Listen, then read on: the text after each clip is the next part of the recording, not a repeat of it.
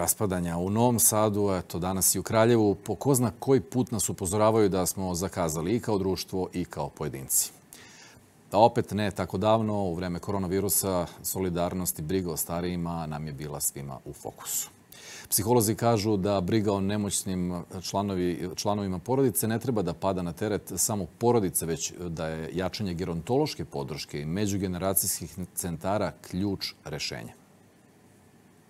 Zdravo starenje počinje u vrtiću i ono podrazumeva osvešćivanje od najranijeg uzrasta o značaju solidarnosti, poštovanja i empatiji različitih generacija. Kada je tako, logično pitanje je gde se izgubila empatija.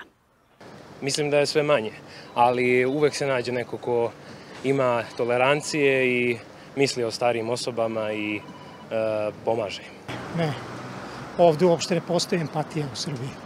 Pa pretpostavljam da o svojima najviše brinemo to je dobro za početak, ali treba više pažnje da obratimo i na sve one koji sami idu ulicama onako sa štapom pogoreni. Eto, možda više na to da obratimo pažnju. Trka za egzistencijom, prezauzetost i mnogi drugi izazovi faktori su koji neminovno utiču na manjak vremena za ostale roditelje, bake i deke i nisu opravdanji za izostanak bliskosti i neophodne brige.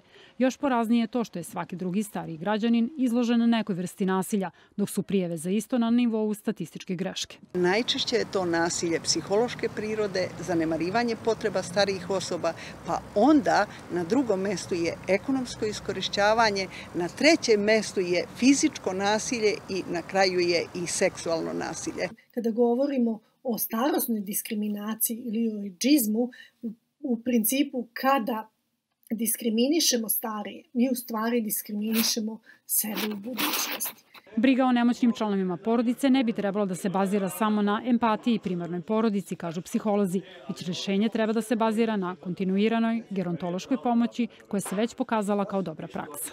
Ne mislim da je rešenje u domovima, institucijama, mislim da je rešenje u geronto službama.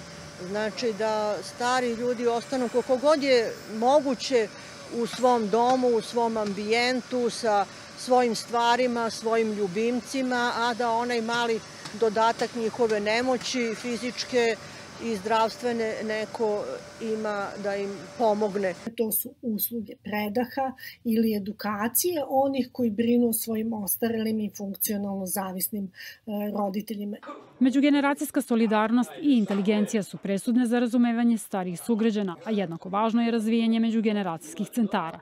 Taj model već decenijama uspešno funkcioniše u Sloveniji, a naše sagovornice su uverene da ukoliko zaživi kod nas, može da utiče da pomenutim tragičnim događajima u buduće ne svedočimo. Radica Stevanović, Kurir televizija.